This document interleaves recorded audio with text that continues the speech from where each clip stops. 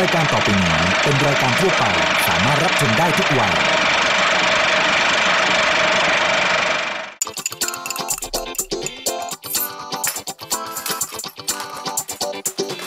กินได้ กินไม่ได้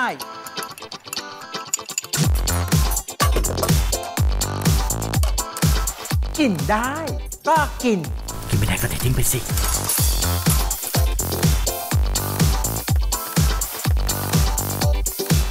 นับสนุนโดยผลิตภัณฑ์ผลไม้ฟรุตเบรดและน้ำเชื่อมแต่งกลิ่นตราเนเจอร์เทส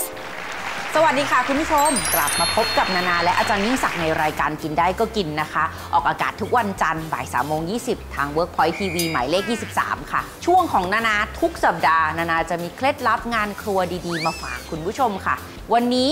นานามีเคล็ดลับง่ายๆ มาฝากคุณผู้ชมในการทำน้ำปรุงส้มตำที่รับรองค่ะว่าทำเสร็จแล้วเก็บเอาไว้ได้นาน อยากทำส้มตำอร่อยๆเมื่อไหร่ก็มีเบสตัวนี้มาแล้ว รับรองว่าทุกครกของเรารสชาติจะพอดีพอดีแล้วก็อร่อยมาก ๆ เลย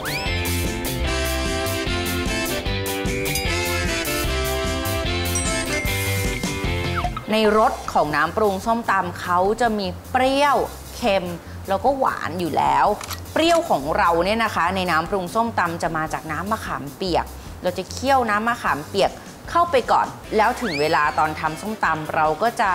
ใส่มะนาวเป็นชิ้นๆลงไป เพื่อให้ได้กลิ่นหอมๆจากมะนาวสดค่ะ เราจะมีมะขามเปียก น้ำเปล่า น้ำตาลทรายและน้ำตาลปี๊บของเค็มก็จะมีเกลือแล้วก็น้ำปลา คุณผู้ชมจะสังเกตว่าอุ๊ยทำไมหวานมีหวานตั้งสองแบบ แล้วก็เค็มตั้งสองแบบ ปกติแล้วน้ำตาลปี๊บจะให้รสหวานนวลๆ การเติมน้ำตาลทรายลงไป จะทำให้รสชาติของน้ำปรุงส้มตำของเราจัด แล้วก็เข้มข้นยิ่งขึ้น ที่สำคัญสีที่ได้ก็จะอ่อนลงแล้วก็สวยด้วยค่ะ เช่นเดียวกันกับน้ำปลา ปกติน้ำปลาแต่ละยี่ห้ออยากให้คุณผู้ชมลองชิม แล้วก็เลือกเอาตามชอบแบบที่ชอบ บางยี่ห้อเค็มมาก บางยี่ห้อเค็มน้อย แต่ทั้งนี้ทั้งนั้นน้ำปรุงส้มตำตัวนี้รสจะจัด เราจะต้องเลือกใช้เกลือป่น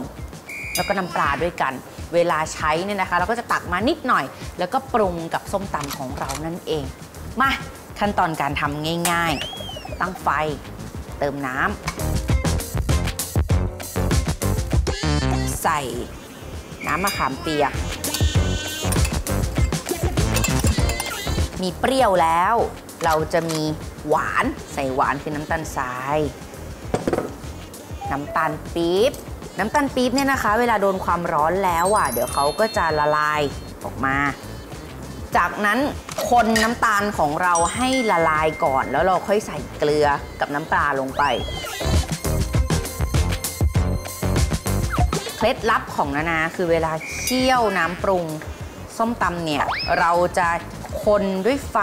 แรง จนกระทั่งน้ำตาลของเราละลายหมด หลังจากนั้นนานาจะเปิดเป็นไฟกลาง แล้วค่อยใส่น้ำปลากับเกลือลงไป คนส่วนผสมแล้วก็เคี่ยวไปเรื่อยๆ ประมาณเกือบ 10 นาที หรือดูว่าส่วนผสมของเขาเริ่มข้นขึ้นนะคะ พักทิ้งไว้จนเย็นสนิท แล้วค่อยนำไปใช้ อย่าเคี่ยวจนกระทั่งได้ความข้นตามต้องการ เพราะว่าเอาลงมานอกเตาแล้ว ส่วนผสมของเราจะข้นมากขึ้นอีก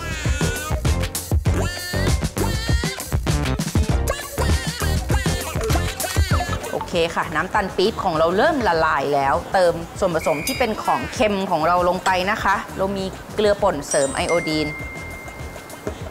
และน้ำปลา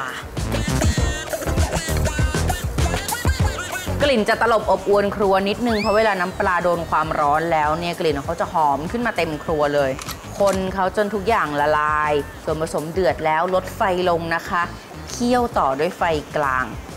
ด้วยความที่เขามีความหวานอยู่สูง เพราะฉะนั้นหมั่นคนเขาหน่อยนะ ไม่งั้นเดี๋ยวส่วนผสมจะไหม้ขอบ โอเค เดือดแบบนี้แล้วนะคะ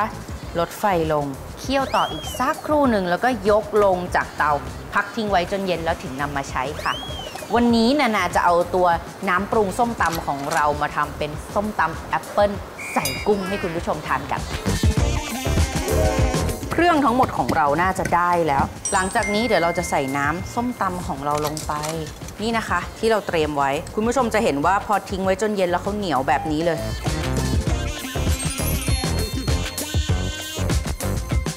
ถ้าคุณผู้ชมไม่ชอบกินแอปเปิลเขียว สามารถเปลี่ยนเป็นผลไม้ตัวอื่นได้หมดเลยนะ จับคู่ผลไม้ในบ้านดูเราเชื่อว่า คุณจะได้ส้มตำสูตรเด็ดของคุณ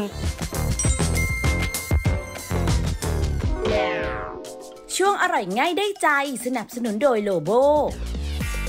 ช่วงอร่อยง่ายได้ใจ วันนี้เรามีเมนูแสนง่ายมาฝากค่ะ กับเมนู หมูย่าง spicy บูลโกกิ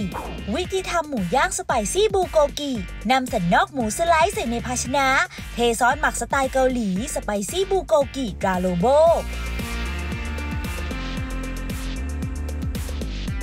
คลุกเคล้าให้เข้ากัน หมักไว้ประมาณ 30 นาทีนำสันนอกหมูที่หมักไว้ลงย่างบนกระทะจนสุกทั้งสองด้านจัดใส่ภาชนะ พร้อมรับประทานกับต้นหอมซอยและผักคอสเพียงแค่นี้ก็พร้อมรับประทานแล้วค่ะกับเมนู หมูย่าง spicy บูลโกกิมีจำหน่ายแล้ววันนี้ที่ Line แอดโลโบช้อปปี้ลาซาด้า JD Central และ www.lobo.co.th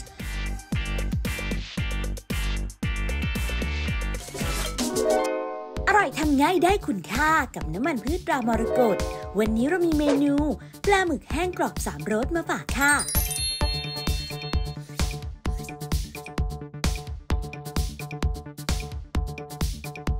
ใส่น้ำมันผสมตรามรกตไลท์ลงในกระทะนำขึ้นตั้งไฟ โดยใช้ไฟปานกลาง ใส่ปลาหมึกแห้งลงทอดจนสุกเหลืองกรอบแล้วตักขึ้นพักไว้ ใส่น้ำตาลปี๊บลงในภาชนะนำขึ้นตั้งไฟ คนจนน้ำตาลปี๊บละลาย ใส่น้ำตาลทราย คนจนน้ำตาลทรายละลาย เติมน้ำส้มสายชูและน้ำกระเทียมดอง เคี่ยวจนส่วนผสมงวด ใส่เกลือป่นเสริมไอโอดีน พริกชี้ฟ้าเหลืองสับละเอียด และพริกป่นคนให้เข้ากัน ปิดไฟแล้วพักไว้ให้เย็น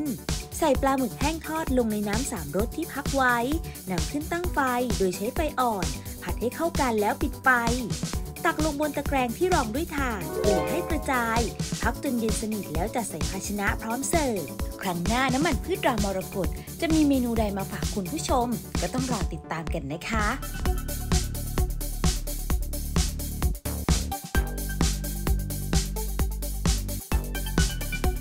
กินได้ ก็กิน